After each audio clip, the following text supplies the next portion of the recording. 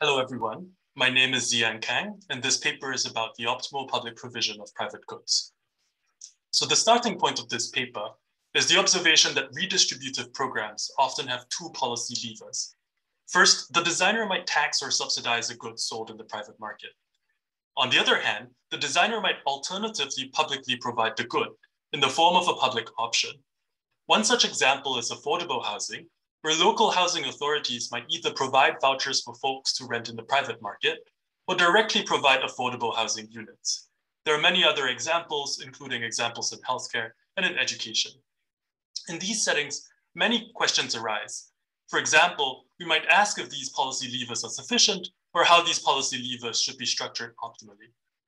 In this paper, I answer these questions by analyzing the optimal way to allocate a good via public provision when consumers also have access to a private market. To illustrate the framework, let us consider the example of affordable housing. There is a mass of consumers who can apply for public housing, but in addition to public housing, consumers can also rent in the private market. And like in standard mechanism design, the designer in my setting cannot design the entire market. Instead, she can design only the public option, but not the private market. And so the designer has to determine the equilibrium effects of her design on the private market, as well as vice versa. For example, suppose that the designer runs a, a lottery to allocate the public option for free. Now, without a private market, all consumers will participate in this lottery. But with a private market, this analysis is not as simple. That's because depending on what price uh, the private market, uh, what price is in the private market, consumers may or may not participate in this lottery. This price is determined by the residual demand from consumers who do not receive the public option, but residual demand in turn depends on which consumers participate in this lottery. And so even the analysis of a simple mechanism, namely allocating the public option via lottery for free, is subject to a fixed point problem when a private market is present. Perhaps surprisingly, however, this fixed point problem that I just described is tractable and admits a simple solution. The main technical result of this paper is that the designer's optimal mechanism consists of at most three prices. At the high price, consumers receive the public option with certainty. At the medium price, consumers are rationed, by which I mean that they receive the public option with some probability less than one. And at the low price, consumers receive the public option with even lower probability.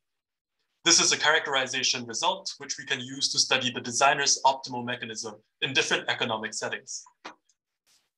The key insight that the main result relies upon is the observation that the designer can accommodate equilibrium considerations as constraints in the design problem.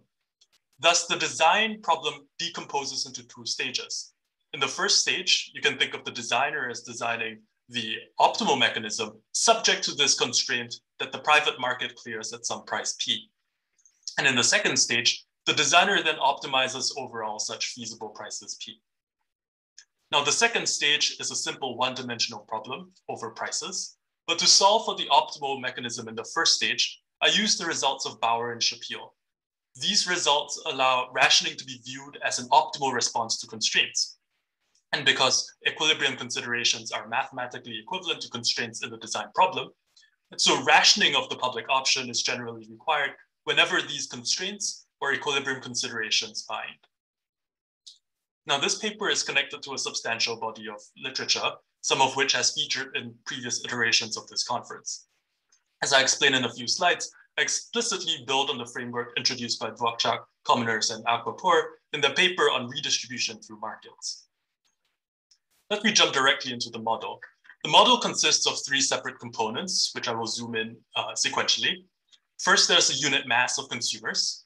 Um, second, there's a private market for the good. And finally, there's a public option with which the designer designs. To model inequality among consumers, I build on the framework introduced by Dworczak, Kominers, and Akbarpour. There's a unit mass of consumers who are distinguished along two dimensions. First, the value for quality denoted by theta, and second, the marginal utility for money denoted by V. Consumer utility is additive over the goods quality and money. And in turn, this implies that consumer behavior is entirely determined by each consumer's marginal rate of substitution, denoted by R. This is the ratio between theta and V, Um, and we assume that it's distributed according to some well-behaved distribution, f of r. Now we can think of r as each consumer's willingness to pay for the good as uh, in standard mechanism design. Now the designer doesn't observe each consumer's uh, value theta or marginal value for money v. And as Dworczak, Kominers, and Akbarpour show, um, we can rewrite the expected utility of consumers using the law of iterated expectations. So expected utility of each consumer is exactly equal to the weighted Marshallian surplus, where the weight, which I denote by lambda of R here, is equal to the expected value of V, conditional on their willingness to pay R. So this allows us to interpret the designer as maximizing a standard utilitarian welfare function with the Pareto weights of consumers given by lambda of R. Throughout this paper, um, I'm going to be assuming that Pareto weight lambda is decreasing in R. So this means that consumers with higher willingness to pay R tend to have lower marginal utility V for money. Uh, one example, um, which is very simple, is the case where all consumers have the same marginal utility uh, for money. So that V here is identically equal to one. And in this case, lambda is constant, and so um, trivially also decreasing in R. A second example is the case where all consumers have the same value for the goods quality. And so in this case, lambda will be inversely proportional to R and hence also decreasing in R. So let me move on now to the second component of the model, namely the private market. All consumers can access a perfectly competitive private market. Um, the quality of good sold in the private market is normalized to one. And supply in the private market is described by the supply curve S, um, which is continuous and strictly increasing. I'm going to denote producer surplus in the private market by uh, this function W. And by Hotelling's lemma, we can relate producer surplus to the supply curve by observing that the supply curve must be equal to the gradient of the producer surplus function W. Now, the third component of the model um, is the public option. The designer produces a public option at a constant marginal cost of C, um, and the quality of the public option is delta, which I'm going to assume is between zero and one, um, although results extend straightforwardly to the case where delta is more than one. So for instance, if delta is exactly equal to one, then consumers view the public option and the private good as perfect substitutes for each other. And the designer also faces a budget constraint of B. The designer in my setting maximizes total expected utility. And so to be very explicit, this means that the designer maximizes the sum of weighted consumer surplus, producer surplus, and the designer's own profit from supplying the public option. I assume that the designer has a Pareto weight of one, and so she receives one unit of utility for one unit of profit. So for example, when the average Pareto weight on consumers is also one, then consumers have the same value for money as the designer does on average. And in this case, we're back to the standard mechanism design world where any uniform transfer from the designer to all consumers is welfare neutral. And finally, the designer cannot observe individual realizations of consumer types, but knows the distribution F among the consumer population. Now, the timing of the model is as follows. Um, first, consumers who might want to apply for the public option do so, uh, and then allocations for the public option are realized, and consumers who receive the public option then leave the market. After that, the remaining consumers proceed to the private market where the competitive equilibrium is realized. Um, and at the very end, um, all payoffs will be realized. So to set up the mechanism design problem, I denote the allocation function by x, um, which is the probability that a consumer of type theta v gets the public option.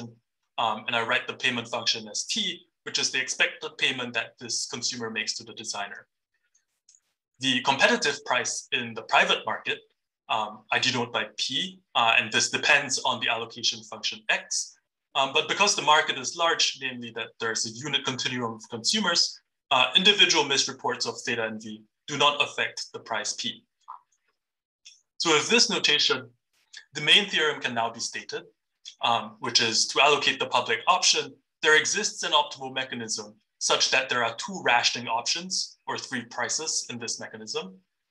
Um, and I will sketch this proof in three different steps. So first, I characterize the relationship between the competitive price P and the allocation function X. Um, after that, I characterize incentive compatibility, and finally, I solve for the optimal mechanism.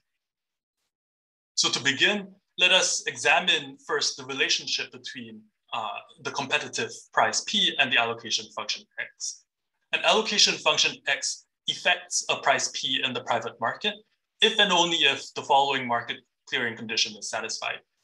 Namely, um, residual demand from consumers who are not allocated the public option, but still willing to pay a price of P, uh, must be equal to supply at the price P.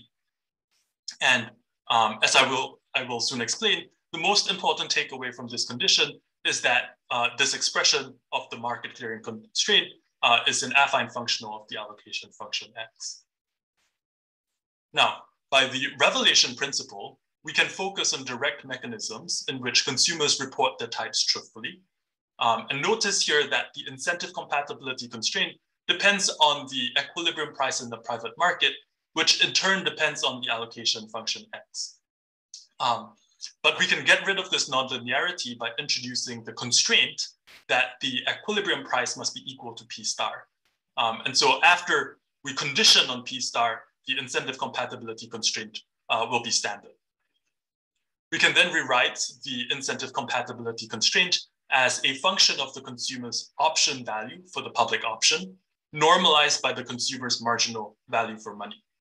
And we refer to this normalized option value as the consumer's effective type, um, which is equal to delta. Delta, again, is the quality of the public option multiplied by consumers' willingness to pay R, minus the positive part of the difference between R and P star. Because this um, expression for incentive compatibility resembles the usual incentive compatibility constraint, we can write down the equivalent of Myerson's lemma in this setting, uh, which explicitly says that any incentive compatible mechanism is essentially equivalent to one in which allocation is increasing in the consumer's effective type, um, while the payment function is given by the usual envelope theorem argument. So at this point, we can already answer the question about who buys the public option. Unlike standard mechanism design, where there's no distortion at the top of uh, the consumer type distribution, here there's no distortion in the middle of the distribution of consumer willingness to pay.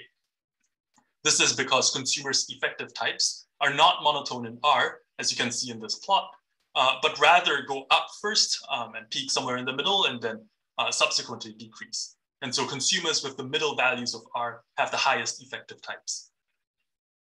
Um, in turn, this implies that consumers with the highest willingness to pay, or the richest consumers, always buy the private good and never buy the private, the, the public option. Middle class consumers apply for the public option, and if they're not allocated, uh, they buy the private good.